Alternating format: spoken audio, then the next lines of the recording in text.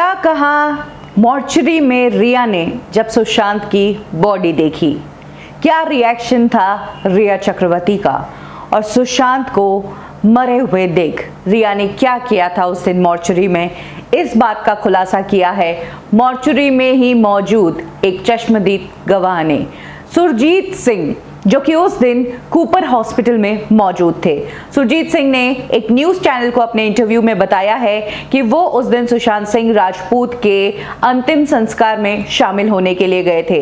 वहीं पर उनके एक दोस्त ने उन्हें बताया, सूरज सिंह ने, कि रिया चक्रवर्ती आने वाली है और रिया चक्रवर्ती आखिरी बार सुशांत के दर्शन करना चाहती है।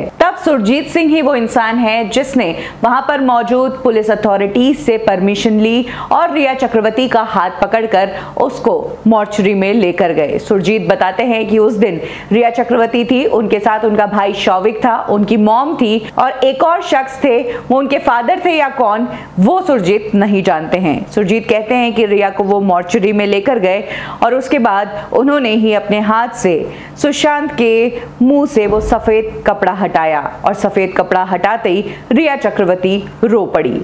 रिया चक्रवर्ती ने सुशांत के सीने पे हाथ रखा और चार शब्द बोली आई एम सॉरी बाबू। अब ये सॉरी किस बात से बोली? क्यों रिया चक्रवर्ती उस दिन सॉरी फील कर रही थी? और क्या था इस सॉरी का मतलब? ये तो नहीं कहा जा सकता है, लेकिन ये वो चीज़ थी जो रिया चक्रवर्ती ने उस दिन मॉर्चरी में जाकर की थी, जब वो सुशांत की बॉडी के आखिरी दर्शन करने गई थी। आपको बता दें कि रिया चक्रवर्ती कूपर हॉस्पिटल गई थी 45 मिनट उन्होंने मॉर्चरी में बिताए थे। इस बात को भी लेकर बहुत सारे सवाल उठ रहे हैं कि कौन लेकर गया था। ऐसे में सुरजीत ने खुलासा किया है कि रिया चक्रवर्ती को मॉर्चरी के अंदर ले जाने वाले वही थे।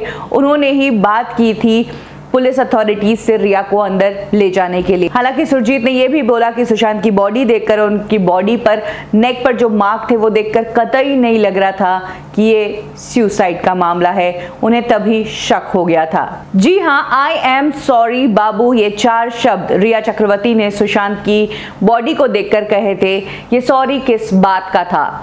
सुशांत को अकेले छोड़ने का, सुशांत को ब्लॉक करने का, सुशांत के साथ प्यार का नाटक करने का, या फिर सुशांत को बीमार करने का। ये तो रिया चक्रवर्ती खुद ही बता सकती है।